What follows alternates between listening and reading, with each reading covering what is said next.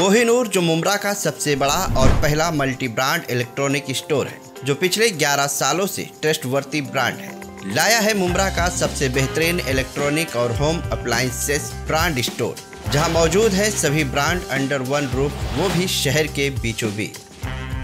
Wide range of electronic जो आपके घर की खूबसूरती में चार चाँद लगा special loan offer with zero down payment साथ ही पहले 200 कस्टमर के लिए स्पेशल गिफ्ट पैक कस्टमर की हैप्पी रिस्पांस को देखते हुए अब और भी पर्सनलाइज सर्विस के साथ। कोहिनूर सेलिंग जॉयफुली अब न्यू लोकेशन पर old Nasheman colony near by doctor Dadan clinic Mumra Kausa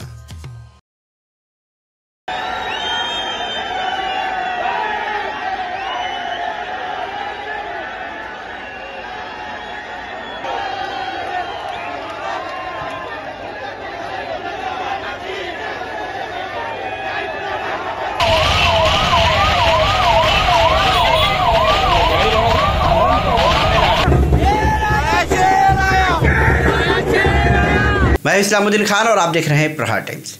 Mumbra शहर में शिवसेना शाखा को लेकर काफ़ी घमासान आज मचा रहा। एक तरफ़ शिंदे गुट के पूर्व नगर सेवक राजन किने अपने शिंदे गुट के कार्यकर्ताओं के साथ मौजूद थे तो वहीं दूसरी तरफ़ महाराष्ट्र के पूर्व मुख्यमंत्री उद्धव ठाकरे और कलवा मुमरा के विधायक जितेंद्र अवाड और संजय राउत अपने तमाम कार्यकर्ताओं के साथ मौजूद रहे और दोनों तरफ़ से यहाँ पर जमकर नारेबाजी की जा रही। आपको बता दें कि शंकर मंदिर नाके पे उद्धव ठाकरे गुट का जो शिवसेना शाखा था, उस पर शिंदे गुट ने कब्जा कर लिया था और इसी को लेकर कई दिनों से घमासान मचा हुआ था और आज 11 तारीख को मुमरा शहर में उद्धव ठाकरे आए। उद्धव ठाकरे का मुमरा शहर में कई जगह पर सम्मान सत्कार किया गया, फूलों का गुलदस्ता दिया गया। साथ में विधायक जितेंद्र अवाड और संजय राउत भी मौजूद थे।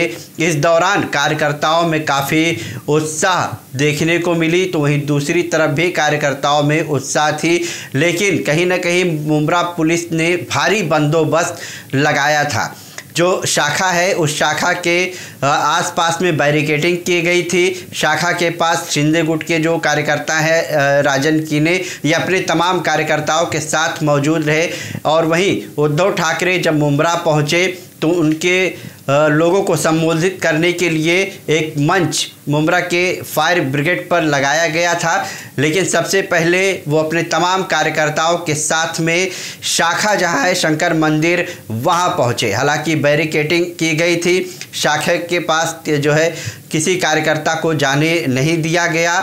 ये बैरिकेटिंग के दूसरी तरफ़ तरफ़ पूर्व नगर सेवक राजन किने अपने तमाम कार्यकर्ताओं के साथ में मौजूद थे। तो वहीं दूसरी तरफ़ महाराष्ट्र के पूर्व मुख्यमंत्री उद्धव ठाकरे और विधायक जितेंद्र आवाड संजय राउत अपने तमाम कार्यकर्ताओं के साथ मौजूद रहे और दोनों तरफ़ से जमकर एक दूसरे के खिलाफ यहाँ पर नारेबाजी की जा रही थी। हालाँकि पुलिस दोनों तरफ़ से बैरिकेटिंग लगा कर रखी थी और कार्यकर्ताओं की काफ़ी भीड़ यहाँ पर थी, लेकिन पुलिस ने बैरिकेटिंग करके किसी तरह से मोर्चा संभाले रखा। इसके बाद उद्धव ठाकरे ने सभा को संबोधित किया, लोगों को बताया कि किस तरह से उनकी शाखा को शिंदे गुट ने कब्जा किया है। अब तक महाराष्ट्र में कई जगह पर उद्धव ठाकरे गुट की जो शाखा थी, उसे शिंदे गुट ने कब्जा कर लिया। इसी तरह से मुमरा में शिंदे गुट ने कब्जा किया शाखा और उसे डेमोलाइज करके अब